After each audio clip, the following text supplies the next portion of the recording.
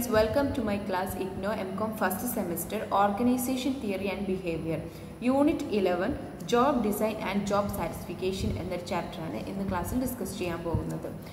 First of all എന്താണ് job design എന്ന് നോക്കാം. ഓക്കെ അതായത് ഒരു മോഡേൺ ഓർഗനൈസേഷൻ ഹൈലി കോമ്പറ്റേറ്റീവ് ആണ് അതുപോലെ തന്നെ കോംപ്ലക്സ് ആണ്. ഒബ്ജക്റ്റീവ് അറ്റൈൻ ചെയ്യാൻ വേണ്ടിയിട്ട് ഓർഗനൈസേഷൻ സ്ട്രക്ചർ ക്രിയേറ്റ് ചെയ്യുകയും അത് മെയിന്റെയിൻ ചെയ്യുകയുമാണ്. അപ്പോൾ ഒരു ഓർഗനൈസേഷൻ സ്ട്രക്ചർ എന്ന് പറയുന്നത് ജോബ്സും ടാസ്കും ഒക്കെ ഉൾപ്പെടുന്നതാണ്.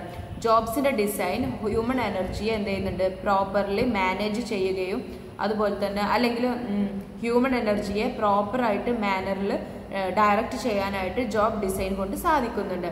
ജോബ് ഡിസൈൻ എന്ന് പറയുന്നത് സ്യൂട്ടബിൾ മാനറിൽ ഓർഗനൈസേഷൻ ഗോൾ അച്ചീവ് ചെയ്യാനായിട്ട് സഹായിക്കുന്നുണ്ട്. പ്രോപ്പർലി ഡിസൈൻഡ് ആയിട്ടുള്ള ജോബ് എന്ത് ചെയ്യുന്നുണ്ട്? എംപ്ലോയീസിനെ മോട്ടിവേറ്റ് ചെയ്യിപ്പിക്കുന്നുണ്ട്. ജോബ് ഡിസൈൻ പ്രോസസ്സ് അഫക്റ്റ് ചെയ്യുന്ന number of internal and external factors ഉണ്ട്. ഈ യൂണിറ്റിൽ ജോബ് ഡിസൈനിനെ കുറിച്ചിട്ടാണ് ഡീറ്റെയിൽ ആയിട്ട് പഠിക്കുന്നത്. First of all job design എന്താണെന്ന് നോക്കാം. ജോബ് ഡിസൈൻ ഹയർ പ്രൊഡക്ടിവിറ്റി എന്ന ഒരു ഗോൾ അച്ചീവ് ചെയ്യാൻ വേണ്ടിയിട്ട് ജോബ്സിനെ സയന്റിഫിക് പ്രിൻസിപ്പിൾസിന്റെ ബേസിൽ എന്ത് ചെയ്തിട്ടുണ്ട്? ഡിസൈൻ ചെയ്യണമെന്ന് എഫ് ഡബ്ല്യു ടൈലർ സജസ്റ്റ് ചെയ്തിട്ടുണ്ട്. ആൻഡ് ഹ്യൂമൻ റിലേഷൻ അപ്രോച്ച് എന്ന് പറയുന്നത് അതിനകത്ത് വേറൊരു രീതിയിലാണ് പറയുന്നത്.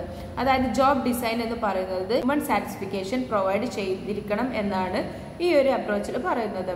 പ്രോപ്പർലി ഡിസൈൻഡ് ജോബ്സിൽ ഹൈലി മോട്ടിവേഷൻ ആൻഡ് സാറ്റിസ്ഫിക്കേഷൻ ഉണ്ട് എന്നാണ് ചില റിസർച്ചിലൂടെ റിഫീൽ റിവീൽ ചെയ്യുന്നത്. പുവർ ജോബ് ഡിസൈൻ ആണ് എന്നുണ്ടെങ്കിൽ ബോർഡം ആംബിഗിറ്റി കോൺഫ്ലിക്റ്റ് ഇതൊക്കെ ഉണ്ടാക്കുകയും അതുമൂലം എന്ത് ചെയ്യുന്നു? എംപ്ലോയീസ് എന്ത് ചെയ്യുന്നു? ഡിസാറ്റിസ്ഫൈഡ് ആകുകയും ചെയ്യുന്നുണ്ട്. ഓക്കെ അതായത് അവിടെ ഒരു ഡിസാറ്റിസ്ഫിക്കേഷൻ ഉണ്ടാകുന്നു. എഫ് ഡബ്ല്യു ടൈലർ പറയുന്നതിനനുസരിച്ചിട്ട് ഇതൊരു ടാസ്കിനെ പറ്റിയിട്ടുള്ള ഒരു കംപ്ലീറ്റ് റിട്ടേൺ ഇൻസ്ട്രക്ഷൻ ആണ് ജോബ് ഡിസൈൻ എന്ന് പറയുന്നത്. ടാസ്കിൽ എന്താ ചെയ്യുന്നത്? എങ്ങനെയാണ് ചെയ്യുന്നത്? അത് കംപ്ലീറ്റ് ചെയ്യാൻ എടുക്കേണ്ട സമയം എന്തൊക്കെയാണ്? അതൊക്കെയാണ് ടാസ്കിൽ സ്പെസിഫൈ ചെയ്യുന്നത്. ഓക്കെ അപ്പോൾ ടാസ്കിൽ എന്താണ് ചെയ്യേണ്ടത്? എങ്ങനെ ചെയ്യണം? കംപ്ലീറ്റ് ആക്കാൻ എത്ര സമയം എടുക്കും ഇതിന്റെ പർപ്പസ് എന്തൊക്കെയാണ്? ഇതൊക്കെയാണ് ഒരു ടാസ്കിൽ പറയുന്നത്. ഒരു അതായത് ഈ ഒരു ജോബ് ഡിസൈൻ എന്ന് പറയുന്നത് ഇതിനെ പറ്റിയൊക്കെയുള്ള ഈ ഒരു ടാസ്കിനെ പറ്റിയിട്ടുള്ള ആ ഒരു കംപ്ലീറ്റ് ആയിട്ടുള്ള ഒരു റിട്ടേൺ ഇൻസ്ട്രക്ഷൻ ആണ് ജോബ് ഡിസൈൻ എന്ന് പറയുന്നത്. നെക്സ്റ്റ് ജോബ് ഡിസൈനിന്റെ ഫീച്ചേഴ്സ് എന്തൊക്കെയാണെന്ന് നോക്കാം. First one job task and റെസ്പോൺസിബിലിറ്റിയെ structure ചെയ്യുന്നതാണ് ജോബ് ഡിസൈൻ എന്ന് പറയുന്നത്. Then second one job design and quality of work life are related quality work life എന്താണ്? ഈ ഒരു ജോബ് ടാസ്കിനായിട്ട് എന്താണ്? റിലേറ്റഡ് ആണ്. ഓക്കെ ദെൻ നെക്സ്റ്റ് അതായത് ജോബ് ഡിസൈനും ക്വാളിറ്റി ഓഫ് വർക്ക് ലൈഫും എന്താണ് റിലേറ്റഡ് ആണ്.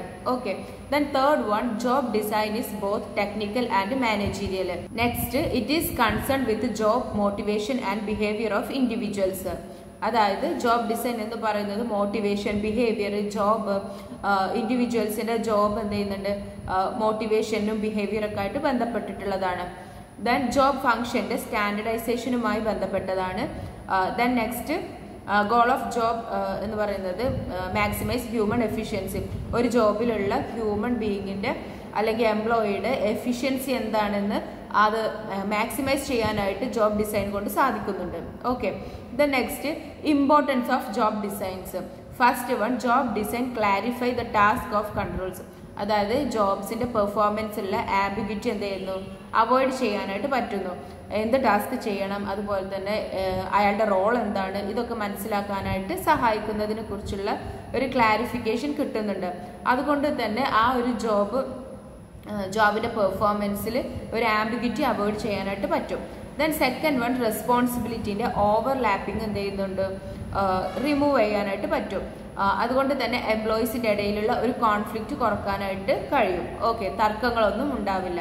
The next it allow proper placement of employees അതായത് എംപ്ലോയീസിനെ പ്രോപ്പർ ആയിട്ട് എന്ത് ചെയ്യുന്നുണ്ട്? പ്ലേസ്മെന്റ് അതായത് ക്രിയേറ്റ് ആയിട്ടുള്ള ഒരു ജോബ് എന്ത് ചെയ്യാൻ പറ്റും? അവർക്ക് ഫിറ്റ് അച്ചീവ് ചെയ്യാനായിട്ട് പറ്റും. Okay the next allow incorporation of എൻവിയോൺമെന്റൽ changes in the job അതായത് പ്രൊവൈഡ് ഫ്ലെക്സിബിലിറ്റി റെസിസ്റ്റൻസിൽ കൂടാതെ എന്തെയ്യുന്നു ചേഞ്ചിനെ ആക്സെപ്റ്റ് ചെയ്യാനായിട്ട് പറ്റും.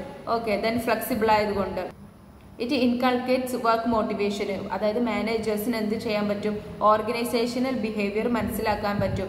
അങ്ങനെ വർക്ക് മോട്ടിവേഷൻ എന്ത് ചെയ്യുന്നു? കൊടുക്കാനായിട്ട് പറ്റുന്നുണ്ട്. ഓക്കെ നെക്സ്റ്റ് സ്ട്രെസ് കുറച്ചുകൊണ്ട് ഓർഗനൈസേഷന്റെ എഫക്റ്റീവ്നെസ് ഇംപ്രൂവ് ചെയ്യിക്കാനായിട്ട് സഹായിക്കുന്നുണ്ട്. Okay factors of job design first one goal അതായത് ജോബ് ഡിസൈനിന്റെ മേജർ ഫാക്ടർ എന്ന് പറയുന്നത് ഗോളാണ് ജോബ് ഡിസൈൻ എന്ന് ഉദ്ദേശിക്കുന്നത് എംപ്ലോയീസിന് ഗോൾ സെറ്റ് ചെയ്യാനും പ്രോപ്പർ കമ്മ്യൂണിക്കേഷൻ കൊടുക്കുക എന്നുള്ളതാണ്. ഗോൾസ് എന്തിനാണ്? ഒരു ഡിറക്ഷന് വേണ്ടിയിട്ട് അല്ലെങ്കിൽ ഒരു കൺട്രോളിന് വേണ്ടിയിട്ടാണ് ഒരു goals next next task accomplishment അതായത് ജോബ്സ് ടാസ്ക് അക്കംപ്ലിഷ് ചെയ്യാനായിട്ട് എന്ത് ചെയ്യുന്നു? ഉള്ളതാണ്. ഓക്കെ അതായത് പ്രൊഡക്ടിവിറ്റിന്റെ ടേംസിലും എഫിഷ്യന്റി എഫിഷ്യൻസി ടേംസിലും എഫക്റ്റീവ് ടേംസിലൊക്കെയാണ് ഇത് പറയുന്നത്. ദ നെക്സ്റ്റ് ഫാക്ടറാണ് എംപ്ലോയി റെസ്പോൺസ് അതായത് ജോബ് ഡിസൈനിനെ അൾട്ടിമേറ്റ് ചെയ്യുക എന്നുള്ളത് എംപ്ലോയീസിന്റെ സാറ്റിസ്ഫിക്കേഷൻ മാക്സിമൈസ് ചെയ്യുക എന്നുള്ളതാണ്. നന്നായിട്ട് പെർഫോമൻസ് ചെയ്യിപ്പിക്കുക എന്നുള്ളത് നല്ല ആ ജോബ് ഡിസൈൻ എന്തായിരിക്കണം നന്നാവണം. ഇതെന്താണ് ഫീഡ്ബാക്കിലൂടെ നമുക്കത് ഈ ഒരു ഒപ്പീനിയൻ എന്ത് ചെയ്യാൻ പറ്റും നേടാൻ പറ്റും. Next task variety task different ആണെങ്കിലും അവിടെ ഡിപ്പെൻഡന്റ് ആണ്. ഓക്കെ അതിന് വെറൈറ്റി ഓഫ് സ്കിൽസ് എന്താണ് ആവശ്യമാണ്. ചലഞ്ചിങ് ടാസ്കിന് റേഞ്ച് ഓഫ് സ്കിൽസ് എന്താണ് വേണം.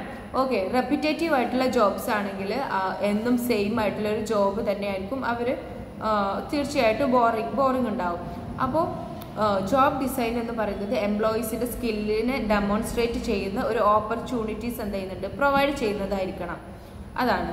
ഓക്കെ നെക്സ്റ്റ് ടാസ്ക് ഐഡന്റിറ്റി അതായത് ഒരു ഓർഗനൈസേഷനിലുള്ള ഇൻഡിവിജ്വൽസിന്റെ കോൺട്രിബ്യൂഷൻ എന്താണോ അതാണ് ടാസ്ക് ഐഡന്റിറ്റി എന്നതുകൊണ്ട് ഉദ്ദേശിക്കുന്നത്.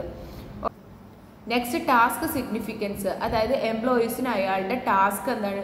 ഇമ്പോർട്ടന്റ് ആണ് എന്ന് തോന്നിയെങ്കിൽ മാത്രമേ ആ ഒരു ഓർഗനൈസേഷനിൽ അയാളുടെ റോൾ വളരെ ഇമ്പോർട്ടന്റ് ആണെന്നുള്ള ആ ഒരു തോന്നൽ ഉണ്ടാവുകയുള്ളൂ. ജോബ് ഡിസൈൻ അവരുടെ ഇമ്പോർട്ടൻസിനെ പറ്റിയിട്ടുള്ള ഒരു ആഡിക്വേറ്റ് ഇൻഫർമേഷൻ കൊടുക്കാനായിട്ട് സഹായിക്കുന്നുണ്ട്.